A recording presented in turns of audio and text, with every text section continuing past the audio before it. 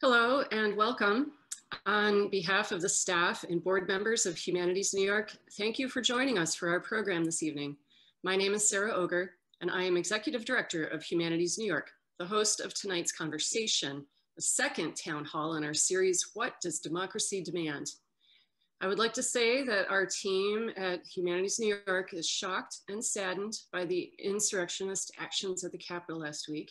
We all conceived of this series as timely, but never imagined that the kind of deeply informed commentary we expect from our speakers today would be running alongside these particular headlines. We are incredibly honored and humbled to have this opportunity tonight.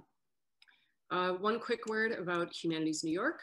We are the New York State affiliate of the National Endowment for the Humanities and also the sole organization tasked with promoting the humanities, uh, the public humanities in New York State. We do this through grants, through discussion-based programs, a public humanities fellowship program, a critically acclaimed podcast on women's history called Amended, and events like this one. If you would like to learn more about Humanities New York or would like to support our work, please visit our website, um, humanitiesny.org.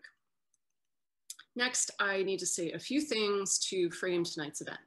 As I mentioned, this is the second town hall in uh, What Does Democracy Demand, a two-part series. Last month, we convened the same group of thinkers to address the topic of first principles, an exploration of some of the essential aspects of democratic society, as well as the contemporary threats to those essentials. You can find a video of that incredible conversation at Humanities New York's YouTube page. Next week, we will host a free community conversation facilitated by one of our staff members where you can expand on issues presented here in person in more detail if you wish. Uh, we, in person, we do that over Zoom. Uh, you'll get an in, uh, informational email about that uh, tomorrow after this event. We do a lot of discussion-based programming and in order to kind of model that, we want to get your questions throughout the presentation and not just at the end. The presentation part of the program will break after about 20 minutes in order to turn to some of the audience questions. And then that will continue through the rest of the event. In order to pose a question, which you can do from the get-go, please use Zoom's Q&A function on the bottom of your screen to submit and then also vote for questions that you like. These town halls and conversations were funded by the Why It Matters Civic and Electoral Participation Initiative, administered by the Federation of State Humanities Councils and funded by the Andrew W. Mellon Foundation. Everyone at Humanities New York is really grateful for the opportunity provided by Mellon and the Federation, and we want to also thank their respective leaders, Elizabeth Alexander and Phoebe Stein. I want to also thank my coworker, Michael Washburn, and the rest of the staff members who made this event happen. Our board, chaired by Sarah Gelman Carney of Buffalo, has been extremely enthusiastic about these programs, and I want to thank them for that and their attendance as well. Tonight's event will run about an hour and a half. And so with that, I have the extreme pleasure of introducing our speakers. David Bromwich is Sterling Professor of English at Yale University. His books include Politics by Other Means and Moral Imagination and The Intellectual Life of Edmund Burke from the Sublime and Beautiful to American Independence and How Words Make Things Happen. Jedediah Purdy is William S. Beinecke Professor of Law at Columbia University. His books include this Land is Our Land, The Struggle for a New Commonwealth, After Nature, A Politics for the Anthropocene, and For Common Things, Irony, Trust, and Commitment in America Today, among other books. Leah Wright Rigueur is the Harry S. Truman Associate Professor of American History at Brandeis University. She is the author of the books, The Loneliness of the Black Republican, Pragmatic Politics and the Pursuit of Power, and Mourning in America, with a U, Black men and women in a White House. Brandon M. Terry will moderate. He is Assistant Professor of African and African American Studies and Social Studies at Harvard University. He is currently completing two books, tentatively titled The Tragic Vision of the Civil Rights Movement and Sovereignty, Soulcraft, and Suffering.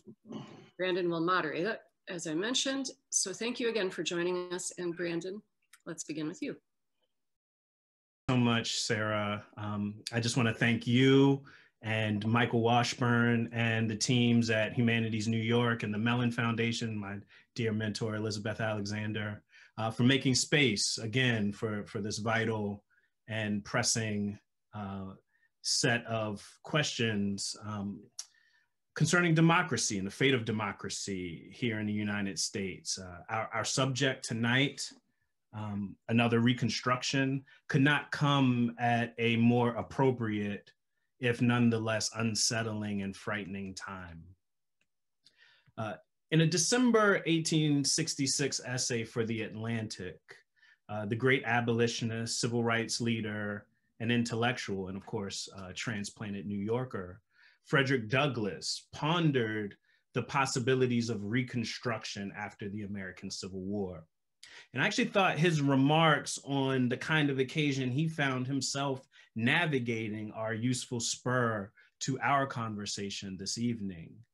Uh, when reflecting on the Southern revolt that set in motion civil war and the struggle to remake America in its wake, Douglass writes, there is cause to be thankful even for rebellion. It is an impressive teacher, though a stern and terrible one. In both characters, it has come to us, and it was perhaps needed in both. It is an instructor never a day before its time, for it comes only when all other means of progress and enlightenment have failed. Whether the oppressed and despairing bondman, no longer able to repress his deep yearnings for manhood, or the tyrant in his pride and impatience takes the initiative and strikes the blow for a firmer hold and longer lease of oppression, the result is the same. Society is instructed, or maybe. We live, at least in reference to the recent American past, in an increasingly rebellious age of politics a sustained upheaval that has raised unsettling questions about the fate of our country and the fate of democracy. But just precisely what, to paraphrase Douglass, our age of rebellion has instructed us in is essential to any sense of the direction in which a possible democratic reconstruction for our own time or our near future might endeavor. The title of our forum invokes the radical transformative experiment in multiracial democracy known as Reconstruction, which followed the defeat of the Confederacy and the formal abolition of chattel slavery. But we are not, of course, the only ones turning to this historical example to cast light on our present. The Poor People's Campaign, led by William Barber, is calling for a third Reconstruction. So is the historian Robin Kelley, who identifies such a movement with the movements for police and prison abolition. Uh, we see liberal journalists insisting that the racial and partisan violence and authoritarianism that destroyed Reconstruction is a warning for us today. We see Confederate flags being waved in the Capitol building as it was seized by the mob last week. And even Ted Cruz, the senator from Texas, his address from the Senate floor approvingly invoked the infamous Hayes Tilden Compromise of 1876 that formally ended Reconstruction. So we're awash in gestures to this American inflection point. And I'd like to begin there um, as the title of our event does uh, with that provocation. And I want to turn to Leah here because when I asked for book recommendations last time, Leah suggested that the book she most wanted people to read over the holidays for a discussion about democracy was W.E.B. Du Bois's Black Reconstruction. So Leah is also on this um, on, on, on, this on this moment of, of reflection on Reconstruction. And I want to ask her, why did you suggest that book? Why in this moment are people turning so readily to Reconstruction as a touchstone for political judgment, historical lessons, and civic warnings, or even civic hopes? So first, let me say thank you all for having me back here again today, and I'm I'm really excited for this conversation. I think it comes at a you know both a turbulent time, but also the right time um, to have these kinds of conversations, which are really quite important, uh, particularly in the public domain. Um, and I will say that what I had in mind when I thought about Black Reconstruction uh, was rethinking really what we mean by democracy in this country, but also what are the necessary steps for us to get to democracy. And so when I think about Black Reconstruction and when I think about what Du Bois was writing about in this moment, part of what he's trying to do is really make sense of the failure of Reconstruction and the failure of democracy for the majority of the nation's Black citizens. And really have an accounting of this, in part because the disciplines of history and sociology just simply don't have room for a Black accounting of what happened and how Black people had been marginalized. I also think it's important. One of you know one of the things that I wanted to point out with Black Reconstruction that Du Bois does quite just brilliantly is points out that Black people had power. They did have right these the elements of freedom in citizenship, and they had it with the force and the enforcement and the protection of the federal government. So that you know the idea that you know, um, we had black senators, we, had black representatives, we had a black lieutenant governor, we had black people in positions of power across every single aspect of, you know, American society. But that was a deliberate and calculated effort connected to the economic well-being of the South and the revival of the South that stripped those benefits away. And that it could, if it so effortlessly could be done in particular ways, that what would that mean for the future? So I think what Black what Black Reconstruction does is lays out a blueprint. And the reason why people keep coming back to this, whether it be not just you know uh, 19 uh, or uh, uh the 21st century, this moment where historians are kind of really engaged with this, but also we see you know nods to the Reconstruction period in 1960 through you know the SCLC, through the Poor mm-hmm. People's Movement, through Martin Luther King Jr. and things like that.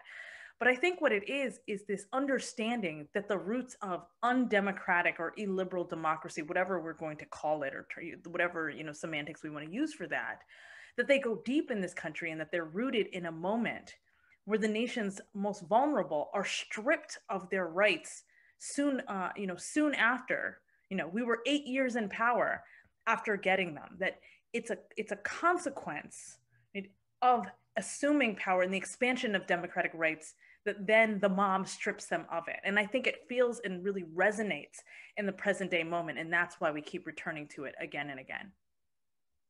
Thanks, Leah. Um, yeah, one of the more striking invocations of the Reconstruction example um, was in the Times, the New York Times this week. Uh, Timothy Snyder, the historian, had um, sorry, that's my dog. Uh, a major uh, a major essay called The American Abyss, um, where he argued that this narrative that we're seeing all around the society, that the election has been stolen, uh, and you know the, the perpetrators of the theft are always shifting, right? It's some amalgamation of radical leftists, black organizers, globalist Jews, the Chinese Communist Party, uh, Hillary Clinton sponsored pedophiles, uh, God knows who else. Um, but all of it, he says, amounts to a kind of big lie. And in Snyder's words, it mauls logic, it misdescribes the present, and demands belief in conspiracy. And here's the reconstruction point he says it also reverses this particular big lie, reverses the moral field of American politics and the basic structure of American history. So it pretends that the perfectly legitimate exercise of uh, voting power by Black citizens is a coup, while the brazen attempt to suppress their votes or overturn fair results is the salvation of true democracy.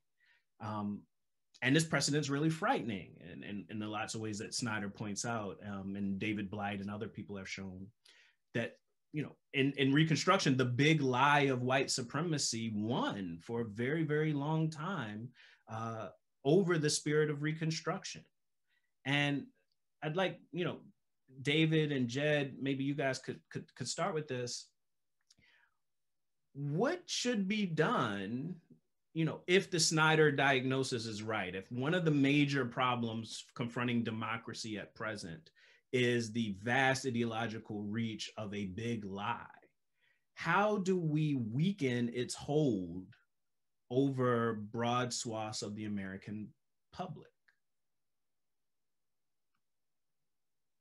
Um, could we could we talk just a, a, little more about Reconstruction, maybe on, on our way there? And, and I hope that what I'll have to say will um, bridge Brandon into sure. a, a, quick response to the question that you just posed. Um, so you, you um, in your remarks about the currency of the um, mentioned Reverend William Barber um, and living in North Carolina in the last decades have marched with him and actually been arrested with him for occupying a Capitol building, though under somewhat different um, conditions than this last week. Um, and so I've spent a lot of time in, in the company of a sort of living and participating in a sort of living political effort to revive a certain potential in Reconstruction. And, and that, as I experienced it in the sort of life of this cross-racial progressive political effort, was that it stood for um, the first moment, really, that the American constitutional scheme becomes plausible as the rudiments of a system of morally defensible liberal democracy. The first establishment of a constitutional conception of universal citizenship to which substantive guarantees of equality and liberty are attached. And it also stood in key respects for the recognition that universal citizenship is inseparable from the organization of political economy. Du Bois's famous phrase about the war and aftermath being the conflict between two systems of political economy, free labor and slavery, um, captures something, of course, seen in the Freedmen's Bureau, seen in the sort of recognition that, remaking an economic order and remaking a political order were two sides of the same task. Um, and it was in those respects the um, crucible and principle of the possibility of a cross-racial and in, frequently in key respects class-based majoritarian politics um, across the upper upper South, in particular, just before it was broken, and it was that that was proximately broken in states like like North Carolina. So, uh, democratic potential that um, emerged alongside the breaking of Reconstruction and its defeat um, has also seemed something um, sort of perennially available for recovery and, and still in need of renewal. Um, it is a sort of incomplete founding to which it's maybe possible to look, and, and even defeated founding to which it's possible to look back with, in, a, in a different spirit from the first one. And I suppose I mean to say that living in a politics of that kind, and I'll, I'll leave it at that for the moment, as against um, the sorts in which we, many of us now find ourselves, maybe the beginning of a sort of, the beginning of a gesture toward the question that you really want to put to us, which I take it as a good part of the, the whole question for tonight. Thank you, Jay. David. Um, yeah, we're still finding out uh, about the extent of the disruption, disorder, riot, whatever you want to call it, of January 6th, uh, and the actors behind it and the resentments that fueled it. Um, what I learned today from a story in the Washington Post was a, a much larger role than I recognized that had been played by QAnon, and now that their uh, all of their tweets and whatnot have been taken offline, uh, unless you go into the archives, I guess it's harder to see what the uh, granular texture was of, of the uh, things that heated them up. But I, I would, uh, I want to go back to Reconstruction briefly, but uh, the first Reconstruction, that is. But I would emphasize that what we've got in this country have had uh, for the last 10 years is a very large, uh, and, and before, but uh, coming more intense these years and leading to the first to the election of Trump, uh, is a very large number of people uh, of more than one race, including white people who are not like the four of us, um, not of our status or education, um, who have felt left behind. And so it is a matter, if we're to speak of Reconstruction now, not just of race, though that is prominent, and the Confederate flags remind us of that. There have been Confederate flags in every far right demonstration I've witnessed in my 69 years of life. Uh, and it's never been altogether clear what they mean. They're gestures of defiance in general, or of Yahooism, or of what the hell. But there's certainly racism there that there should be so much of this, so risky um, and so violent or bordering on violent, um, has, I think, something to do with the numbers who have felt left behind, so that it's a matter not just of race, but of money. Um, and all of this coming in the middle of the COVID months of lockdown, dissatisfaction, uh, and anxiety. Um, so who has profited at this moment? The puzzle, the um, scandal of the first Reconstruction is that the owners of the planter estates, 5% of Southern whites, uh, who perhaps should have paid most heavily in restitution, were uh, instead given back much of what they had instead of the confiscation that was plan planned for in the land distribution programs of Thaddeus Stevens, Charles Sumner, and others of the abolitionists. Who has profited most from this ordeal we're going through with COVID? Facebook, Amazon, Netflix, Google, Twitter. They're enormously enriched. So if I were to offer a parallel for what was not allowed to happen in 1865 66, namely confiscation of the big estates and distribution of them to uh, freed blacks, poor whites, veterans, and immigrants, I would say that as a request, a reforming Reconstructionist administration should ask those billionaire companies to contribute through tax enormously to offset the inequalities all over that have fed a lot of the discontents. Um, I wanted to just make one observation about 1863 instead of 1866, and my source briefly is Lincoln instead of Douglass. And I saw that in one of the online sites uh, that quotes this, it is listed as the out of 150 teachable Lincoln documents, it's number 145. I would rate it. I would rate it considerably higher, and it's a letter Lincoln wrote to the military governor of uh, Louisiana uh, in August 1863, Nathaniel Banks, and he recommends Louisiana. And here are his words, Lincoln in this letter, adopting emancipation early in those parts of the state to which the proclamation does not yet apply, going ahead of uh, what the laws dictate thus far, where you can.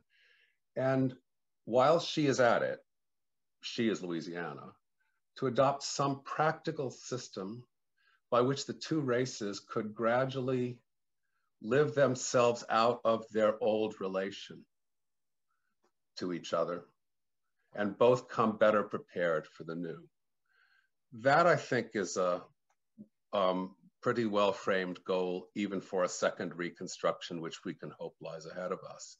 This prospect of the races living themselves out of their old uh, relation to each other and being prepared for the new.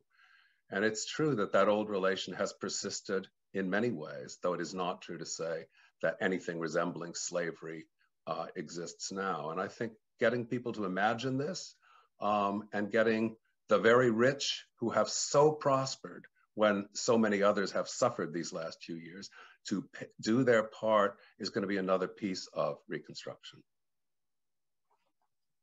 Thank you, David. Um, Leah, do you want to jump in with, with, with maybe a response to what's been laid on the table? Sure. Um, I actually think it would be helpful to perhaps bring some nuance to this idea of the the notion of being left behind. I actually think it's a really a really quite important um, concept, not just in the last four years, um, but but much longer, right? This much longer history. And I think it's worth thinking about the way in which this concept of being left behind actually motivates many of the protests that we see over the summer. In fact, this idea of economic inequality is a very old idea. We see it with Occupy Wall Street, but it really comes out to play, particularly in the explosion of you know, peaceful protests that come in the wake of George Floyd's death, right? And, and, one of the things that I've pointed out here before, but I would like to emphasize again, is that when George Floyd dies, he's in Minneapolis looking for work because he is underemployed and, and you know, um, unemployed. And so essentially the economic, you know, system of the United States has failed him.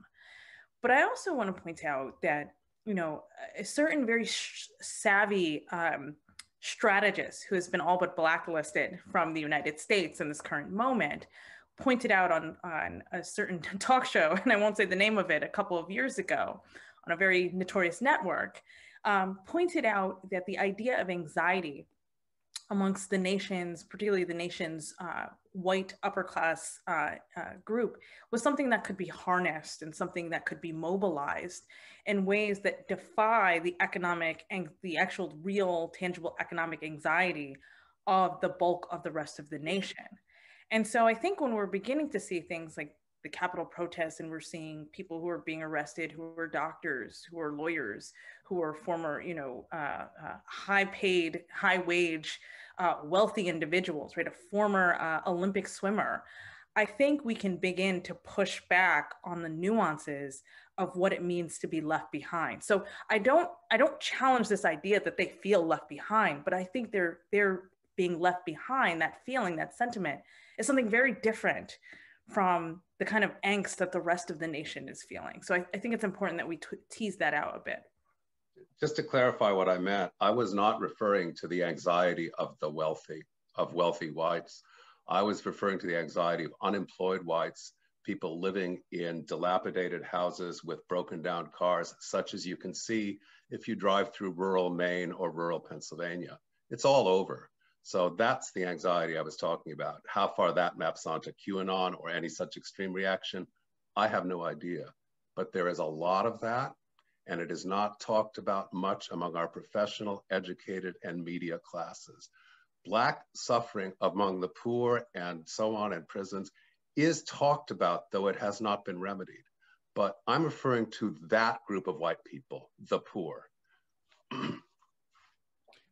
Yeah, I mean, I I think I took, and Leah, please correct me if I'm wrong. I mean, I I take the point to be one about a certain kind of sleight of hand rhetorically uh, that that functions um, quite powerfully in Republican politics, and actually, in, in my view, uh, and, and here I took my my black left credentials maybe maybe a bit too explicitly, but uh, it happens quite a lot in black politics as well. That um, if you look at kind of late 20th century black politics, you hear constant discussion of the plight of the ghetto poor, and then a set of policy recommendations that functionally accrue their benefits to the black middle class, right? And I think there, there, there is an interesting dynamic here once we start to unpack who showed up at these protests, who's driving uh, who's driving the kind of um, anger that you're seeing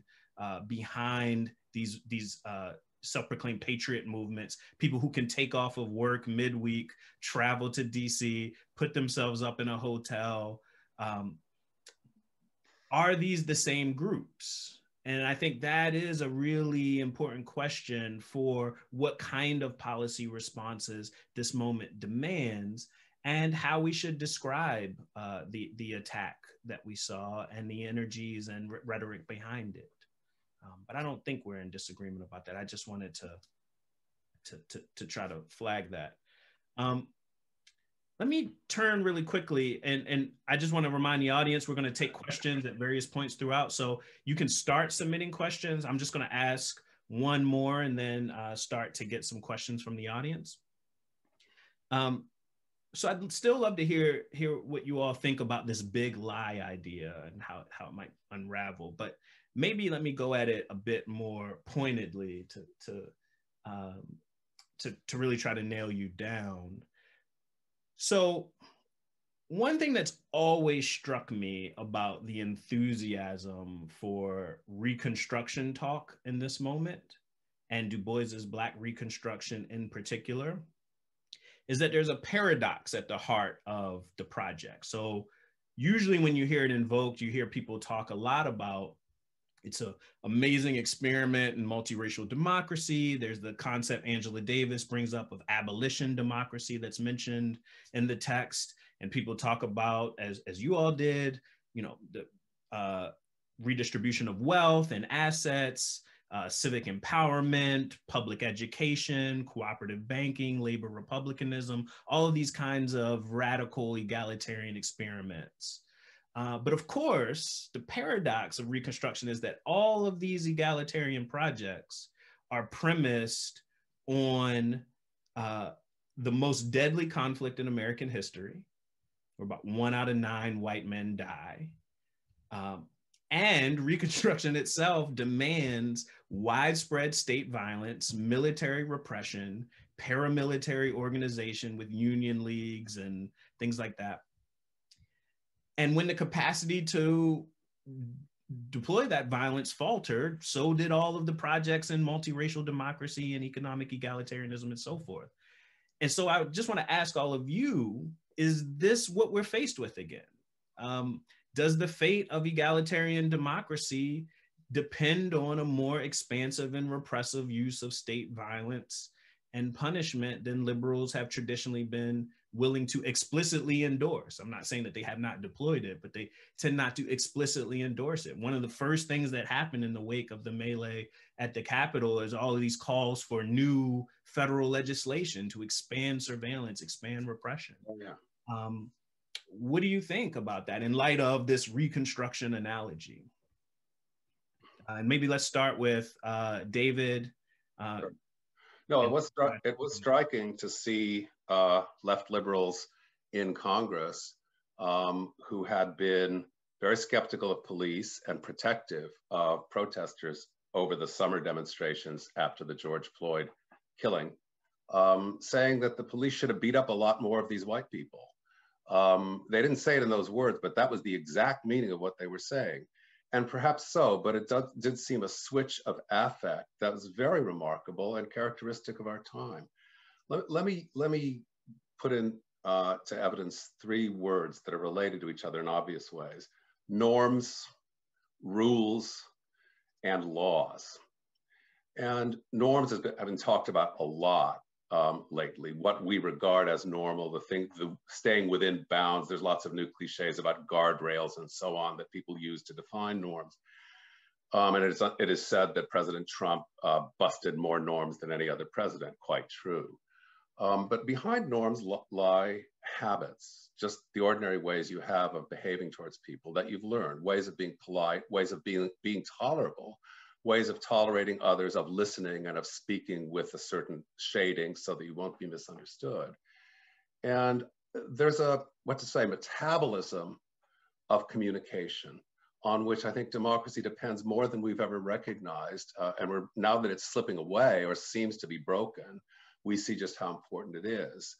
Um, we're, we're living in a time of an epidemic of communication, very fast communication, very rude communication, very dismissive. Um, the word cancel um, expresses a lot of what is negative about that communication, but the gestures of enthusiasm or, you know, pumping, pumping your fist in the air are just as short-winded and just as shallow and often just as insulting.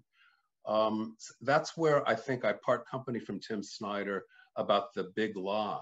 There's such a multitude of little lies that leads to general distrust, very big distrust, and makes people want to anchor themselves, especially if they don't know how to get the right sources and if they're ill-educated and if they're single-minded and tending towards zeal or fanaticism and have some festering disappointment or resentment that they're harboring um, leads people to go for one story. And among all these distrusts and all these doubts, one story. Um, so I think the the um, the uh, uh, what to say the best way to guard against too much need to resort to state violence, state enforcement, and coercion in order to obtain a more just society and turn habits into laws, right, at top speed, which we don't want. Um, and, I, you know, many of my uh, liberal friends do want that very fast. They are believers in the administrative state to the last degree. But I think that the cost in freedom is too high there. I think the only offset to it and the only way to guard against it, I'm afraid to say, is education. And that the media of communication have to cooperate with education that brings people genuine facts, reliable facts, and creates a common culture of information again. We've never had it perfect, but we've never had it so meager and impoverished as it is now. And that's part of the danger we're living in. Um, thank you, David. Uh, do any of the others want you guys want to say anything on this point? Jed? Yeah, uh, I'll quickly. Um, I was I was just rereading the social contract recently, and there's a very nice distillation in which Rousseau says in one sentence that the further the mores, the norms, the attitudes, the habits of the people are apart from the laws, the more violence the state will be required to you, to employ. It describes a sort of a three-part relation in which you could say, I think without being, without being at all too clever, um, that what counts as violence or as coercion is uh, constitutively related with what people regard as legitimate, what they're willing to identify with. That is um, redistribution of big estates, transfer of wealth, has to be done at gunpoint if it takes place in a setting in which it is already experienced as hostile, illegitimate, an extension of a war. Not so in political culture capable of absorbing it within its sort of resources and vocabulary of legitimacy. Um, so violence is of course a fact, but it's not only a fact, um, at least a brute fact, even though it may be the most, the most brute of facts at the same time. Um, when I think about our information, uh, communication metabolism is, is, a, is, a, good image.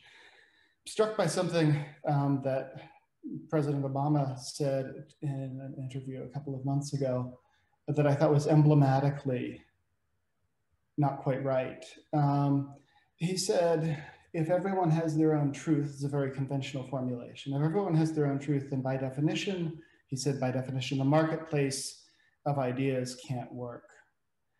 I I think it is precisely a certain kind of marketplace of ideas that we find ourselves in.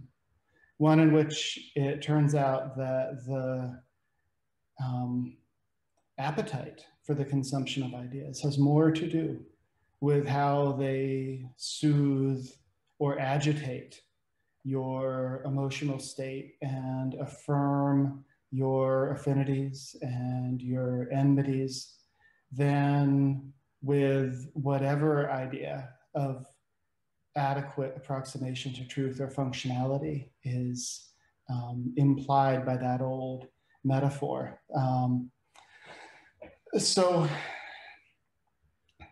there's um, there's a way that we're getting trained into thinking that we don't have to um, contend with unwelcome ideas, ideas that don't make us feel good any more than we have to um, buy and, and, otherwise consume something that we don't like. And if the one version of the problem of democracy is living under a common authority and accepting the sharing of authority with people with whom you fundamentally disagree, whom you may fear and dislike, um, then that's a, a very um, dangerous trend.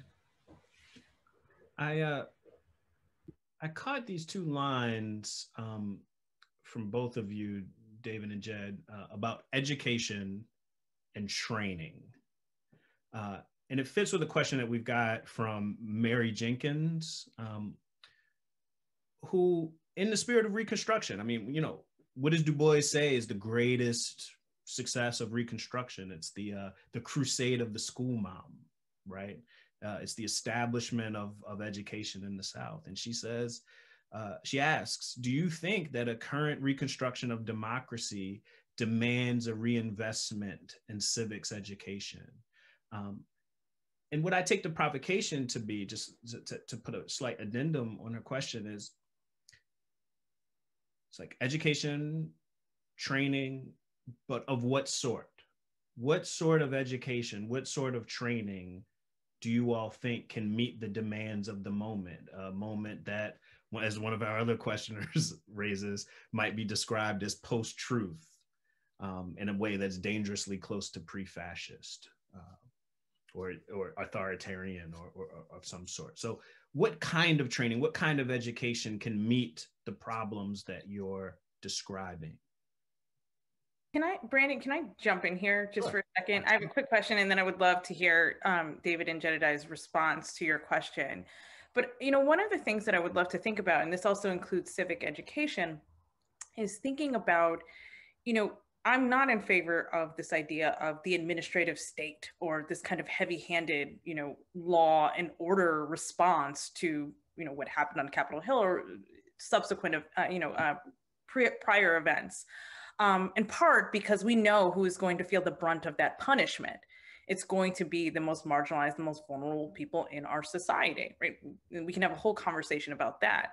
But one of the other things that I want to think about is that we haven't really talked about the regulatory power of the state and the way in which that plays in and how we haven't actually really thought about what an agenda would look like that is not about the punitive long reach of the state but instead about the progressive possibilities of the state. And so one of the moments that we see that where, where, things really do succeed under Reconstruction is where the long arm of the state, and this also is what raises the hackles of so many people, where the long arm of the state steps in and says, we are going to enforce these protections and these radical changes because we know that this is the only way to integrate this population into the broader American fabric. And so I, I want to think about what that would look like, what that would mean because this is also the thing that we've been told from almost the, the moment that it's introduced that that's fundamentally un-American, that it's wrong to enforce, right? The long arm of the state. That's what we're told is dangerous. So I'd be interested in hearing about that because my thinking on this, particularly as we think about what kind of, you know, civic education would be consumable from people, whether it be in Massachusetts or Texas, where the school board is one of the most powerful, you know, bodies in the entire state. How are you going to do that? What would that look like, particularly in a post-truth America? You're certainly right about the, the divide in uh, educational ideologies. I, I, read a good book uh, oh, 25 years ago called What Johnny Can't Read. Um, and it's about the California and New York uh, school boards as the most repressive, excuse me, progressive in the country, and the uh, Texas and Kansas school boards as the polar opposite. And, though, and the, the, it is as if they are different countries. Um, to enforce uh, new, what to say, um, uh, new uh, properties, um, abilities, um, possessions that are taken to be rights that were not rights before, not like the right to vote, for example, or the right to own property, but how much property and so on, to have the state enforce that, um, it, it, it's, it's something that I guess has to be imagined. Um, it, but I'm, it's, it's beyond my imagining right now. And of course, it's not just in America um, that there is this distrust of the long arm of the state. And I would say coercion is bad as such, even if it's not the least privileged who feel the brunt of it. That seems to me a moral fact about oppression. It's always bad, even if it oppresses the privileged. That's just my view.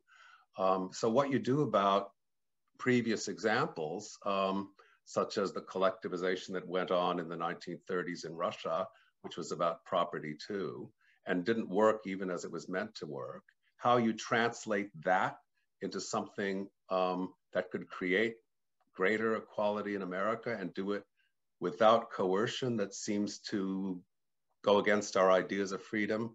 I'm, I'm only raising another question, so I'm sorry to feel impotent at the end of this. if, if I might say something to, to, to each theme, um, I think you could make a case that intermittently between 1912 and 1970 and solidly between the mid 30s and the late 60s, the central predominant American public vocabulary about the state and freedom actually envisaged quite a significant protective and shaping role for the state in securing the real conditions of security and freedom in a complex society. And language very much of that kind is present in, not only in the most famous FDR addresses, but in the major addresses of people like Eisenhower, by no means a, a, a lefty, but someone who was very much working within that vision of the responsibility of the state. Um, the protective and regulatory and worker empowering apparatuses that were built up in that period constituted a kind of economic citizenship, really the first time there had been something like economic citizenship for white men, which is to say for the substantial majority, uh, privileged substantial majority of the country. And the relationship between the breaking of that economic citizenship and the second reconstruction that brought Black people into an increasingly unequal and precarious economy is obviously a very important one to understand and creates a good deal of the world that we now have to overcome, try to overcome. Um, I thought about education. Um, I, uh, two, two quick things. Um, one is that I, I, want to take some sort of lesson, and I'm not sure what yet, um, as a person who teaches and works in the world of law, from the way that judges, so-called Trump judges, who are will be in many jurisprudential respects Trump judges, so consistently um, did their jobs in the face of the orchestrated lunacy of the denial of, of Joe Biden's electoral college victory. Um, there's something about the kind of role morality, the sense of responsibilities that attach in the specific to the position that you occupy um, that might be a sort of microcosm of what a certain kind of civic sensibility would feel like. You have actual power, you have actual responsibility. And if you breach the responsibility in certain egregious ways, in some sense, you no longer are the person that you said you were or thought you were when you, when you started out. Um, that's a very powerful sort of constellation of experience, identity, and uh, sensibility that seems to me to come with a certain kind of, of conditional empowerment, um, which the which judges in the legal profession have. Um, I would contrast that. This is the, the last thing I want to say about this, but I would contrast that with the sort of extraordinary thing um, that Senator Connecticut Senator Chris Murphy said to the New York Times this last summer. Um, quoting, I have a real belief that democracy is unnatural we don't run anything important in our lives by democratic vote other than our government. Democracy is so unnatural that it's illogical to think it would be permanent. It'll fall apart at some point, and maybe that isn't now, but maybe it is. What an extraordinary thing for someone in that position of responsibility to say, and how much that must reveal about the experience of a certain kind of powerful and well positioned American, including this blank, this naked claim that we don't do anything in our lives by democracy, which suggests a total lack of experience of anything from a range of religious organizations to labor organizations to civic organizations. So I think there's a sort of a sort of hollowing out of the experience of power and accountability. To some people, to more people than the country admits, it's always been denied or it's always been ephemeral. But I think there, um, I think it is much more um, characteristic of our experience to find to find talk of self-rule just sort of you know just sort of notional just sort of just sort of vapid Can I just add a, something I should have said earlier? Um, the idea of a common project, such as was put out by FDR through the Works Project Administration and the uh, Civilian Conservation Corps and things like that, at the time of, of much greater equality, economic equality in this country in mid 20th century America. Um, that that gives a kind of model for what it, you know what what could lead to a good use of state power uh, that creates greater equality all around. Um, I think it is common work and the dedication to a common project that helps in that. Something like the GI Bill came out of a common project. Um, and if we imagine that going into job creation for an infrastructure rebuilding, reconstruction, um, and the habits of mutual respect that would come from millions of workers experiencing the working day with each other, you know, there's a democratic groundwork for some real change of habits that can lead to other changes. That's a point I think is really important um, to think expansively about the meaning of education and its various sites. Uh, one thing that's striking to me about the post truth talk um, is that a lot of the, the arguments, um, the conspiratorial claims, are claims about claims, right? So they're they're well, people are making allegations, and therefore, uh, you know, there's something going on there, right? There's if people wouldn't be making allegations if there wasn't something going on, but the allegations are the evidence themselves. There's no bottom to the allegation. Um, so the conspiratorial thinking can just kind of run afield. And then there's a there's this kind of second move where they say, well, well, no one I know, uh, you know, voted for Biden. How could this possibly have been the case, right? And when you talk about the kinds of things Leah's laid out, right, the deep segregation at the heart of our society, and that's class segregation, as Davis pointed out, racial segregation, there's religious separation. You know, the famous Martin Luther King line, the most segregated hour um, in American life is Sunday at 11 a.m. That's less true than it was when he was alive, but it's still um, quite true. That there are just there there are these weird points of um, a failure to make contact, a failure to learn in a kind of shared common enterprise. And that space is increasingly being filled by social media, by the entertainment industry, uh, and the ways in which that's calibrated to play with our affects is really quite toxic, I think, in a lot of ways to, to, to democratic society. So I do think that's a really crucial point um, to, to flag in this any conversation about education. Uh, as we do face a real problem, which is that our school boards, our society are telling very different stories about the country we live in. And so MSNBC commentators can harangue all day about um, how can this be happening in a White House once occupied by Abraham Lincoln and FDR. These people don't know anything about those people. They're not moved by those arguments. and they spent a lot of 2017 telling their constituency that the 2016 election was stolen from Hillary Clinton by Russia.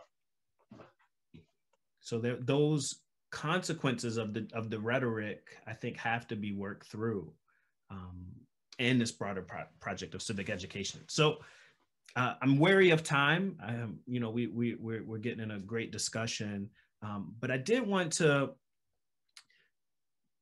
pose to you something that's been uh, asked a lot in the in the Q and A. Um, and I think we should just get it right on the table.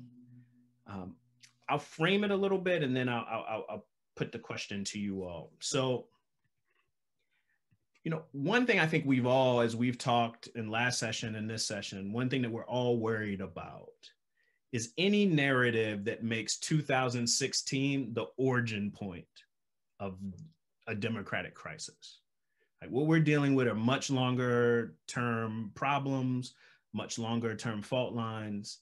Uh, and I think one of the things we do share, despite our disagreements, is um, is a suspicion of anybody who's framing the the uh, president's defeat as a kind of return to normalcy, right? That that something more needs to be done. There's a greater or deeper reckoning that that has to take place. Um, so, one of the stories that's being told um, about what's happening now is that we're facing a fascist movement. That we are in a fascist, uh, a, a proto-fascist movement. There are fascist elements. That there's a uniquely American form of fascism that's coalescing. What are your opinions about the fascism debate and the utility of that vocabulary for describing the long-term projects and the reactionary movements that um, that are, are are at odds with democratic norms in the present in the United States, I should say. There's elements of, of fascism as it's been defined from the Action Française in the 20s, the Italian fascist um, polity of the 30s, and German fascism that are just missing here and that were that were couldn't possibly be organized by a temperament um, as chaotic as Trump. I mean, fa fascist states are for spiritual renewal. So "Make America Great Again" is, you know, it is, if you will, a fascist-like slogan. But there was no ever an, uh, any sign of an organized military arm of the Trump party that was separate from the state. There were not the periodic ri rituals with militaristic direction and purpose. Um, there were no colonialist ventures to other countries. He didn't start any new wars, one of our few recent presidents who didn't. Um, and there's nothing of the corporatism of, you know, bringing in such different parts of the economy as industrial workers, the professions, um, you know, uh, property owners, all in different categories, to come to the table with the one leader of the state and negotiate things. Th those are features of fascism as it's usually been defined. And I think you're getting something much looser in an attempt to characterize Trump and his followers.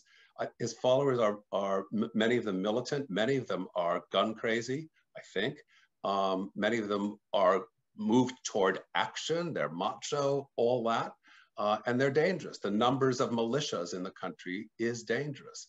But this has been with us um, for 50 years and more, and I've been hearing the word fascist about right-wing politicians for that long. And it just seems to me dodging the problem of trying to define the specific malady that we're dealing with. And I will say, President Trump does seem to me to have been dangerous. I rejoice at the fact that the danger, that danger seems to be passing away and his following is dangerous and potentially violent. But fascist doesn't, I think, capture much. Leah or Jed? Well, I'll say, I'll just say one quick thing that I think, you know, maybe we toy around with the labels of, of, you know, a term like fascist, because I think we're trying to perhaps get at something that the only language that we have for using it, for describing it is fascism right? And so there might be other labels for it. Perhaps it's authoritarianism. Perhaps it's the idea or the notion of, you know, how democracies die. But I think one thing that is worth pointing out is that you never quite know what you're in until after you're in it. That's true. And so I think this is, you know, we can look at it and, and, you know, as a historian, I really struggle with this because I like to have distance between the moment, right? And, and I'm not talking about, you know, five, ten years. The political scientists are different, I know, and the political theorists, you guys like to be in it. Um, but, you know, while you're in it, you don't necessarily know that that's what you're in. Um, and so I, I do, you know, I do think it's worthwhile for to, to at least talk about the language that people are trying to use to describe what we are going through and what we have been going through for, at the very least, the last 40 some odd years, right? Like, how, what are the descriptors? What is the language that we use for to describe, you know, a movement away from a democratic nation? And I'm not simply saying like Trump and the Republican Party, but there are also questions about the modern Democratic Party and the stranglehold that the two party system has on, on, the American body politic that speaks to some of these larger ideas that ultimately leads us to the place that we are in now. And the obsessive focus on the presidency and the president. Yes. But could I, um, one sentence on, on the term fascism. I agree with what David said about it. I think it's a dangerous word because of the vast disproportion between the moral clarity that it imputes and the lack of analytic precision. Um, I, think one of the things that people are trying to get at when they name it as a characteristic feature of the last four years, um, really exemplified in the actions of Wednesday, but also the lie about the stolen election behind them, is the recourse to extra constitutional forms of action, especially um, the sort of shadow of, of popular action. Um, I think that's peculiar, that's especially difficult um, for Americans in the following respect. Democratic and constitutional principles don't always coincide. They happened to, in this election, rather more narrowly than many of us expected. Um, but one can imagine in an alternative 2016 or a certain version of 2024, uh, an occupation of the Capitol in opposition to the Electoral College if a Trumpist has, or a Trump indeed, has lost the national vote by seven or eight million and won the Electoral College. So um, the languages of democracy and constitutionalism are very closely tied together in American um, civic imagination and exhortation, um, especially in the, but not exclusively in the Cold War period and thereafter. Um, and it's a, they come apart and they come apart with potentially explosive consequences there's maybe a, a, civics lesson somewhere in that uh, to do with the responsibilities of the constitutional representative, a congressperson, a senator, and whatnot. Um, because one of the terrible facts um, about the disintegration of political order in the last few years has been the, the dereliction of duty by Republican representatives. And that, that ill I would confine mainly to that party um, when their followers, when their constituents are, you know, plumping for theories that are crazy. Uh, it is the duty of a representative to um, not just follow mandates when the mandates are backed by non-facts, but to correct the people you represent, even at the cost of being turned out of office. Mm-hmm. I should want to lose my job as professor rather than tell a stream of lies about English literature to my students. One, the, you know, the loss should be preferable to, you know, the status quo of uh, maintaining uh, a good faith with people who believe lies. Um, so, I mean, that, that's part of civics that I think has been weakened considerably. Um, and um, you know, the, the misunderstanding of democratic culture by a, a senator on the other side, like Chris Murphy, shows that it's been weakened in more than one place. So let me,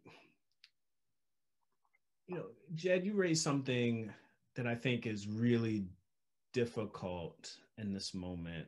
Um, in your in your thought experiment about uh, a, a, potential protest around uh, electoral college result that flies in the face of, you know, um, the popular vote, right? And you know, you guys have talked a lot about, particularly in the last session, that so much of democracy is about agreeing to be ruled by your fellow citizens, uh, agreeing to go on in situations where you've lost fairly um, a political decision. Uh, but we do think uh, that the forms of dissent are permissible, right? Uh, in fact, we, I, I, assume most of us think um, that forms of civil disobedience in, in, particular respects are permissible or defensible, maybe even laudable, uh, and perhaps even contentious forms of dissent. And you know, one of the most striking things about left wing thought in the last 10 years has been a pretty sustained commitment to expanding the space of permissible disobedience, um, to defending forms of uncivil disobedience, to defending uh, civil unrest, uh, even in some cases forms of political violence, particularly symbolic, you know, attacks on statues and things like that. Um, but of course, one of the things that's striking in in the wake of the Capitol melee is that a lot of people on the right are saying this is rank hypocrisy. This is uh, you said it was fine when it was Black Lives Matter. Those people were sincere. We're sincere. Uh, why is th- why is this now indefensible? Um, and so I'm just wondering what you might see as the role of uh, contentious disobedience in pursuing what we're calling democratic reconstruction. So all those things that you're describing, economic redistribution, fairness, those things are going to be met with real opposition and they may require forms of resistance or um, disobedience. How do we think about the place that plays in this politics and whether there can be any kind of consensus about permissible forms of disobedience that perhaps all sides might might might come to some kind of agreement on. I'll try something um, that's not at all perfectly thought through, but I think uh, political culture's capacity to take up learn from and be transformed by contentious forms of disobedience is um,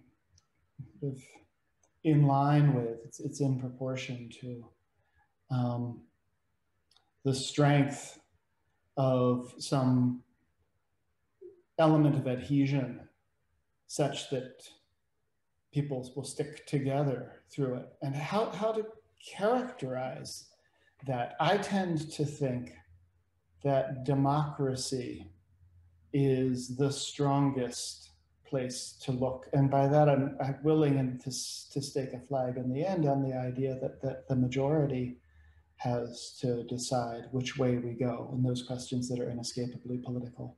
But that, you can't just stipulate that. Um, you need a sort of investment in it, an affinity with it, a willingness to feel that when you live with a loss, in some sense, um, in some sense it's you that's lost, but in some sense you've been changed by the fact that you lost, right? Because the civic part of you, in a sense, is somewhat is someone different after the um, collective decision has happened. Um, you're not existentially affronted by the possibility of power being wielded by the other side. To the extent that's true, I think you can live with a lot more um, um, disruption. Um, and, and so I, I think the, this is, this is quite ill-formed, but um, I think that the acceleration of forms of unruly disobedience that, that you pointed to, Brandon, has been in a relation that we have to try to understand to what extent, causing to what extent simply shaped in its consequences by the um, erosion of a sense of common meta rules, constitutional order, loyalty to democratic order, even the sense of living in a common sort of knowledge world.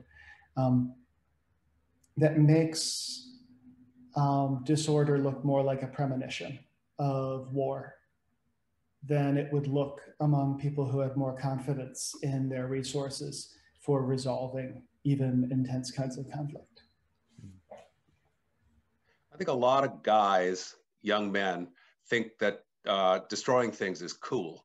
They get excited, it's a turn on, um, and this is people of all kinds and all sides.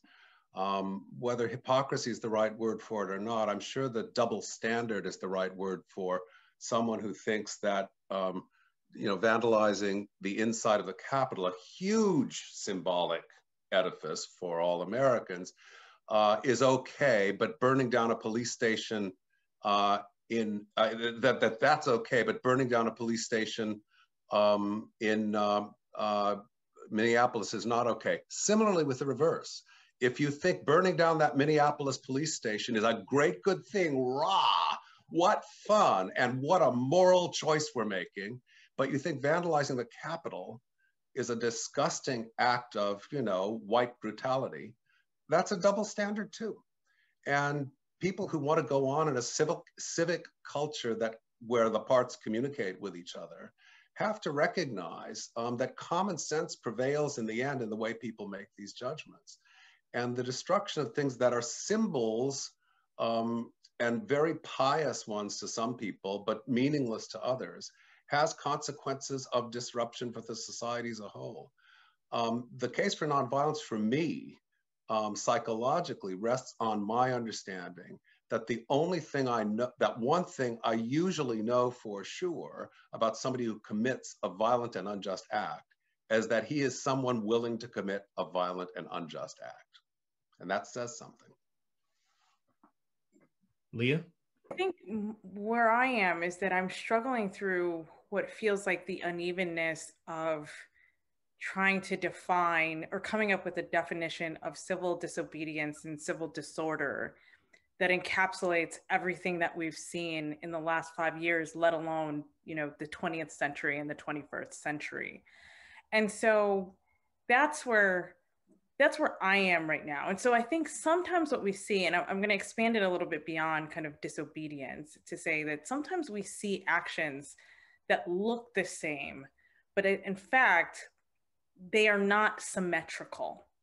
And I'm thinking about, for example, you know, people who are anti-vax, right, who are anti-vaccine. We have one side that is anti-vaccine because, you know, for whatever reason. They say it's the arm of the state that you know they're they bought into the big lie that about what is in vaccine.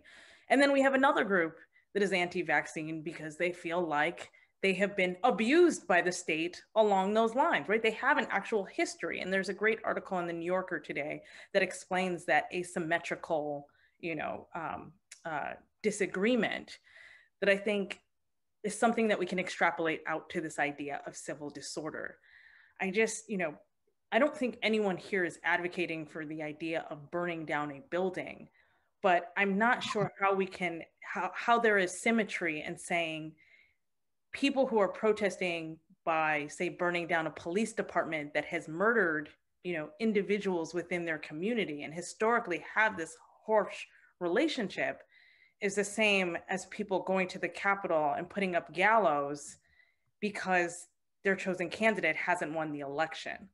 So I really struggle with working through the symmetry, but I also understand that under the auspices of democracy, there is something that we have to work out there. I'm just not sure what it is. I agree that it's right to feel differently about those two different people. Um, the consequences of treating them totally differently, that's a separate matter. Well, there is a question that we have from our, our audience. It's actually kind of two questions that that speak to this, um, and to what they think. Uh, actually, really, really more of an argument than a question. it's uh, that they that they think that that there's a double standard here, but not in the way that we're discussing. That actually, um, the kind of empathy or sympathy or understanding that people are calling for for the um, types of people who took over the Capitol and their allies in Congress uh, reflects an indulgence, um, reflects an indulgence about diminished status when that status was unfair to begin with, um, which reflects a kind of um, a, a, a kind of kid gloves approach to uh, an essentially racist anger um, and an anger born of privilege, uh, a kind of indulgence that's never been extended uh, to to the people on the underside of oppression in the society, uh, the black and the brown, the ghettoized. Um, so, what would be the response to to to a question like that, a claim like that, um, given that uh, a lot of what we're talking about is trying to generate common standards of judgment with which to adjudicate civil and uncivil disobedience or civil and uncivil speech, civil and uncivil unrest? Well, very quickly, I don't want indulgence for the people who broke the law in the Capitol. And I agree with all the congressmen on both sides who said they should be prosecuted to the full extent of the law. Same things for people who destroy property elsewhere. Um, the, the underlying consideration that the question doesn't attend to is 74 million people voted for Donald Trump, whom that crowd was ostensibly supporting. At a very generous guess, you might want to say, very generous, that half of those people would not vote for him tomorrow. That's very generous. But that's still a lot of people you've got to contend with. And a lot of those people are not what they would call privileged. Some of them are probably what our questioner would recognize as poor. And what are you going to do about that? Those people aren't going to invade the Capitol. They're not going to destroy things, but sentimentally, affectively, politically, they are in some way aligned with the destroyers at the Capitol. What do you do about that? Throw around the word privilege a lot, throw around the word whiteness and cure it? It's, that's not going to get you very far. Well, my my dear friend uh, Bernard Harcourt, uh, the the legal and political theorist at Columbia, wrote a piece in the Boston Review um, where he openly worried about whether we were heading toward a, a, a break in the society, something like secession or Brexit, um, where you know you try to develop some kind of common currency market or trade agreement common protector um, you know protective agreement but that the that the society actually just really starts to fragment. Uh, and i thought you know in the wake of this is you know if there if there were these votes being held in in, in, in certain states it's not clear to me that uh, the union would stand uh, and that's a really striking thing to say i mean i, I sound I almost feel like a crazy person saying it, but but it it, seems accurate. I don't think my judgment is awry. Uh, do you think that's on the horizon? I mean, is this is this a kind of uh, age of fracture that we cannot overcome that that that that can't be put back together again? It's it's is are are those questions questions that we may be forced to confront in in the upcoming years? And not just uh, in terms of secession, but also, I mean, you know, really deep partisan fracture. I know that's something that Leah, you've thought quite a lot about. Um, but there's just that the, our, the fundamental presuppositions of how many of us learn to think about politics seem to be shifting. And I want to know do those things seem like they're on the horizon to you in any serious way? And how we should think about that. It's always, it's often been very hard to subject this country to a common national rule. Um, rule not only in the sense of sovereignty, but in the sense of a, a regime, a law. Um, and often as not, it's we've um, slid by because of continental expansion, because of constitutive political exclusion. Um, the decades of real sort of state maturation in the 20th century um, are exceptional in American life so far. And we still have both the constitutional order and um, more elements than some of us may have realized of the cultural um, plurality uh, that that made it very, very hard in the, in the past. So I don't think we have to talk about political forms such as secession or Brexit to imagine a descent into ungovernability relative to the crises we know we need to take on, like climate, and the crises that seem to many of us now to be intolerable dimensions of um, injustice and sources of dysfunction like economic inequality and structural racism. So I'll just say quickly here, uh, you know, to answer your question, Brandon, I, do, I don't think that there would be secession, right? Like fundamentally, the way that our United States is structured, you know, Texas might get, and I'm sorry I'm picking on Texas, but Texas might get this brilliant idea to secede, but they're not actually, not actually going to go through with it because of what the reality of that would mean. But I think I agree with this idea that that you don't need something as dramatic as, you know, seceding from the union in order to see the fracture that mm-hmm. exists on the horizon. And that's already here.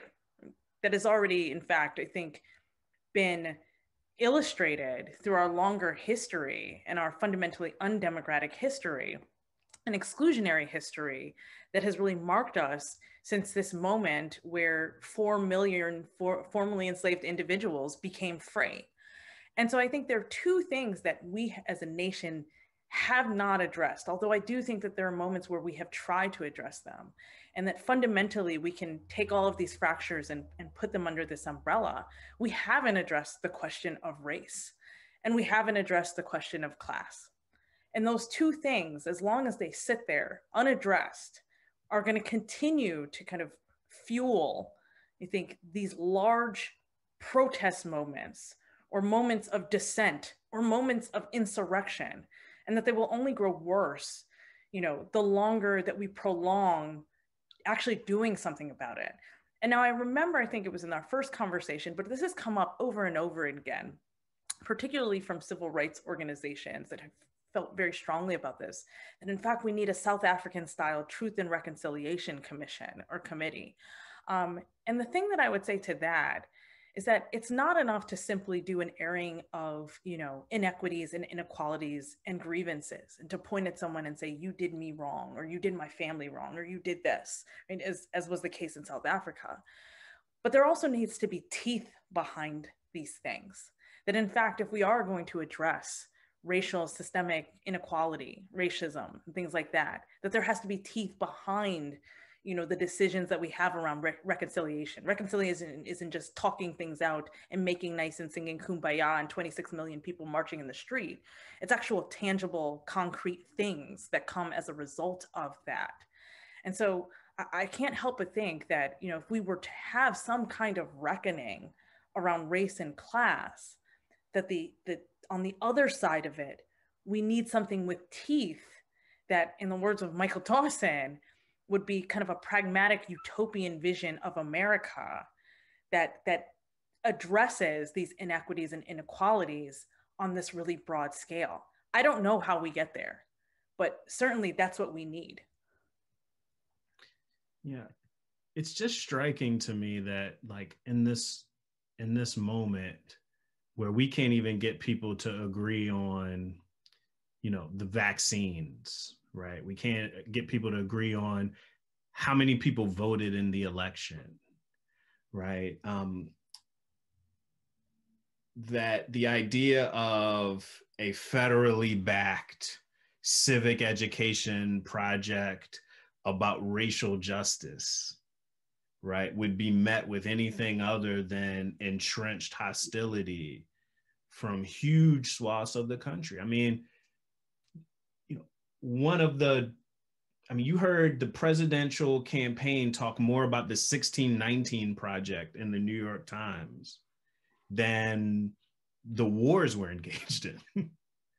uh, I mean, this is, a, this is a stunning fact about our society uh, how stubbornly resistant, how motivating, the, the level of motivated ignorance we we bring to these discussions.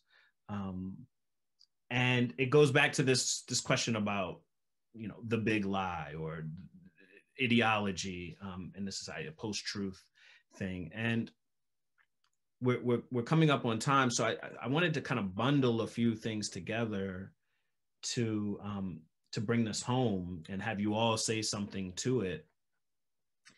And I'll take it take our, our departure from from David's work and one of the questions here, uh, which is about this concept of moral imagination uh, and this idea that you know, we have a faculty to make judgments of right and wrong, that we um, can do this in a way we hope that's not overdetermined by things that are just to our benefit, uh, at least when we're at our best. Um, and at bottom, our democracy really seems threatened by people who've let this faculty atrophy, uh, people who act out of cynicism, nihilism, narcissism, racism. Uh, and I want you all to, to perhaps try to end on a hopeful note, um, is to think about what kind of cultural resources we have at our disposal for renewal of this ability. We've talked a lot about policy, We've talked a lot about the economic foundations of these questions. Um, but where might we find these resources in these spaces outside of what's known conventionally as, as politics, right? Do our religious traditions give us resources? Is it something about, you know, Leah talked about a truth and reconciliation commission. Is it about a kind of collective testimony that we produce in common? um, what are our best chances to, to promote the cultivation of this faculty and our citizens and our leaders? Is it an ecological movement? That's one of the questions that, that has been posed. Um, what kind of resources do we have at our renewal that, that, that might leave us coming from here with a little bit uh, uh, of, of, hope? Um, justified hope, of course, not Pollyannish optimism. And maybe let's start with Jed uh, and then David, and we'll end with Leah. so let me try to answer quickly on two registers, one relatively practical, the other relatively um, less, uh, less concrete. Um, the more practical one is that it remains true that in politics, um, governing majorities can, to a certain extent, within constraints and with difficulties and dangers, make worlds and make worlds to which people can become attached and loyal um, and on the platforms of which other worlds get made. Um, the New Deal was such a world. Um, and the environmental legislation of the early 70s was, was such a world making um, activity. So, to be concrete about this, um, where governing majorities perhaps ephemerally exist as they do right now, they need to be thinking about quasi constitutional changes that bring the Senate more closely in balance with national majorities, that make um, gerrymandering more difficult, that find ways to constrain the reach of the Supreme Court and um, to rein in campaign finance again, such that it becomes possible with less extraordinary effort to generate stable governing majorities going forward that can do things like, and this is the, the um, sort of substance that follows from the procedure, things like make a world of infrastructure and caregiving like healthcare and education that people are willing to fight for because they think they have something at stake in it and they understand that they lose it unless they fight for it and they lose it unless they're part of the world that makes it. So the anti-nihilism is very practical in that sense, I think. It's extremely practical. Nihilism is, is sort of premised on the impracticality of politics in a certain way. It becomes a, an emotional vehicle instead. I know we're gonna have to go a couple of minutes over time, but I want to super quickly say something uh, that's, a, that's more notional. Um, and it's about what the idea of patriotism might mean. Um, it, it, it might mean not the complacency and arrogance of um, both some of those who claim it and lots of people on the left who um, recoil from it because of that. But it could mean two thoughts together. One is the, the view that your country's wrongs and harms and crises are particularly your problem and your concern. You're attached to them and they're attached to you, and you can't just get out from under them.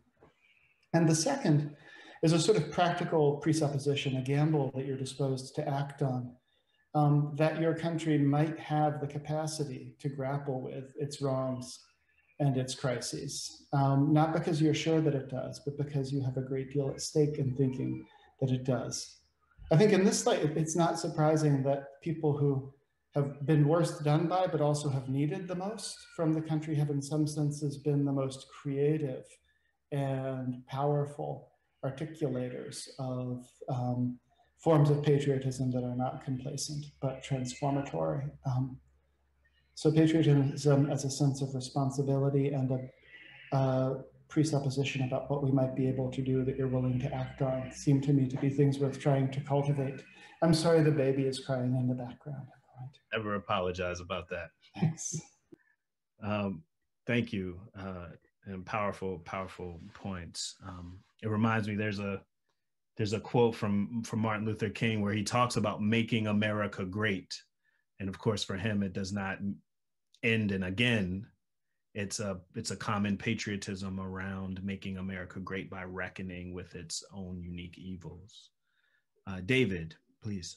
Yeah, I wrote down uh, a quotation from Shelley's Defense of Poetry, um, which I had once memorized, um, where he says that the great secret of morals is love or a going out of our nature and identifying ourselves with the beautiful which exists in thought, action, or person, not our own to identify ourselves with the beautiful which exists in thought, action, or person, not our own. It's a fascinating description of what many people now would call radical sympathy or empathy.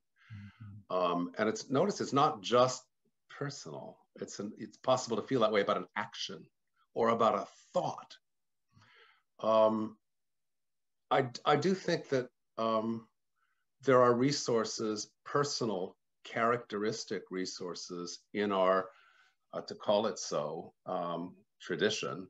Um, some of them have been mentioned today. M Martin Luther King is a um, figure who has come up in a couple, more than a couple of quotations by Brandon. Um, Leah invoked uh, W.E.B. Du Bois and talked about his view of Reconstruction. Um, and I, I, quoted Lincoln, and there are others that we could talk about. These are, um, if we can uh, dare to say such a thing, heroic figures. They're admirable figures. And going back to civics and back to education, I think it would be no bad thing for Americans at a young age to learn the names and the achievements and some of the words and actions and thoughts of Americans who we, one can be proud of for their generosity, for their originality, and so on.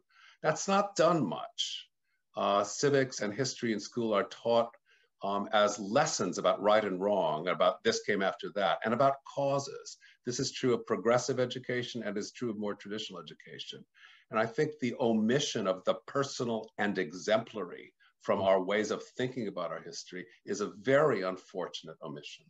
The only other thing I'll say is we've said not a word about America's relation to the rest of the world. But if we're going to have truth and reconciliation of any kind and serious reform of any kind, we've got to get out of the way of the rest of the world, stop killing people in multiple countries, and look back in on ourselves. That's the great evasion that we've spent time on for now, you know, half a century through administrations of both parties. And um, this expansiveness is the other side of what's tearing us apart on the inside. Um, we should be proud of many other things than our military. The one thing that everybody seems to be able to agree on to the point where our new president elect says by rote at the end of every speech, um, and may God bless our troops. where are our troops? So our troops should be at home, maybe helping with the new Civilian Conservation Corps. Well, thank you. I, I, mean, it's a crucial, a crucial point, and one um, that I wish we had spent more time on. In part because uh, I think it's tied to the fate of the democratic ideal. We're not the only country that's invested in the democratic ideal, and there are um, really serious projects contending with the democratic ideal right now. Uh, all around the world, uh, people who are critical of it and think that it's uh, just as Chris Kuhn said, um, deeply unnatural and not worth trying. So uh, our military adventures profane and, and, hamper and harm the fate of the democratic ideal as such. Uh, and that in, in and of itself is a reason to, to, to think a lot about them. Um, Leah, I will let you have the last word. Sure. So, you know, I think if I think about the resources that are at our disposal and the ones that I think are incredibly important to this moment and moving forward, I think about history as a discipline, but also as an idea. Um, and I think about the humanities and not the humanities in the sense of, you know, um, something we teach in schools, but something, an idea, a way of being, a way of thinking, a way of thinking critically. And I mean this in the most expansive way, uh, you know, possible um, I don't want to limit it to you know one particular ideology, but instead the idea that the humanities allow us to think creatively and imaginatively in an era that is you know pushing back on the idea of the humanities being necessary. So I would really emphasize this idea of history and the humanities, and I want to point to an article, um, an uh, you know a piece that James Baldwin wrote in 1966 called "The White Man's Guilt." Where he talks about this idea of history and memory and how the history and the memories that we carry us are intrinsic to not only our identities, but how we interact with other people in the world, right? So this is an idea of post-truth America before there is, you know, we're in post-truth America. Um, but I also want to think about that idea of being creative and thinking imaginatively. And I would encourage everyone to really open yourself up to thinking about the kind of work and the kind of ideals and the kind of ideas that people on the ground are doing. And so this brings me to my last point. The thing that gives me optimism and the thing that I want people to be open to is the kind of work and the kind of, you know, protest even that we see from young people on the ground across the country um, and the kind of sustained protest for justice and for expanding the promise of democracy. Um, we should be happy that 26 million people around the globe participated in a movement for justice, right? Whether it be economic justice or racial justice or social justice, what have you. Um, and I think that's a that's something to be proud of, and it's something that we want to continue paying attention to and thinking about how can we use that to e expand this idea of democracy and bring the idea of reconstructive, a creatively imagined third reconstruction to the United States and quite possibly the world. Well, on that note, um, and the invocation of the humanities, which was once about soulcraft and exemplars, uh, and training people to be heroic when the time called for it. Uh, I think we're going to need a lot of heroism going forward, and we're very grateful to the team at uh, Humanities New York for continuing to provide a space for people to uh, pursue the study of that past, our past, the humanities, uh, and train themselves for a civic life together that looks better than the one that we've got today. Uh, thank you all for coming. Thank you all, um, David, Leah, Jed, for your incredible work, not just in these series, but uh, in your careers. And I encourage all of you um, listening to go out and get their books. They're even better than they are in person. Uh, and uh, you know, I, I hope all of us stay safe and and do the right thing, as my dear brother Spike Lee would say, in a time where it's not easy. Take care. You too. Thank you. Thanks a lot. Thank you.